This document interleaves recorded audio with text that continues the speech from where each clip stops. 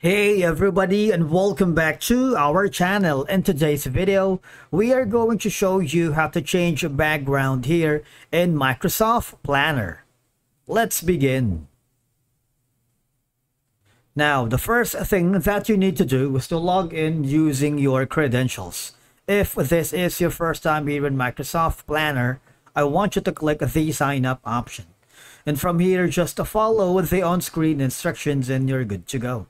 Changing the Microsoft Planner's background is a simple process and would be beneficial for a lot of reasons. Because number one, a custom background can make your planner feel more engaging and less monotonous, especially for users who work in it frequently.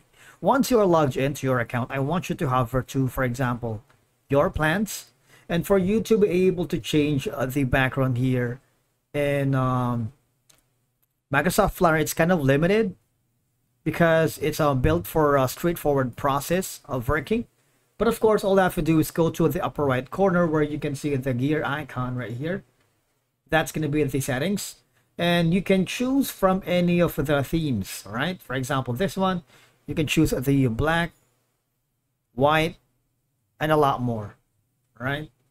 Depending on the permission level that you are using. If you want to view all the themes, you will notice that you can, of course, apply that to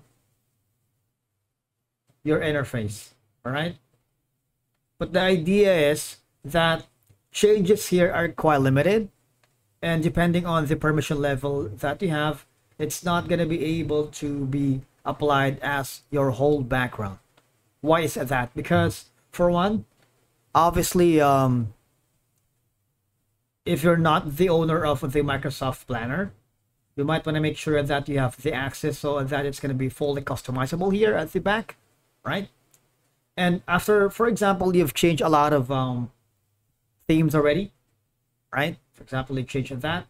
When you go to your plans, all right, another option is you might want to go to the tasks. For example, the task right here.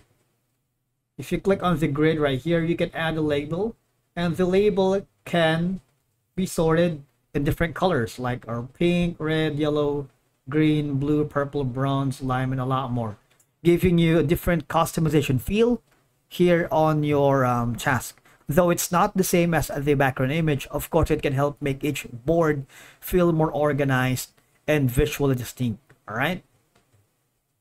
As you can see, if when the teams share a visually branded or a theme planner, it can help reinforce a project's identity and align team members, providing a cohesive look and feel. And that's it for today's video. Thank you so much for watching. We will see you again in the next one.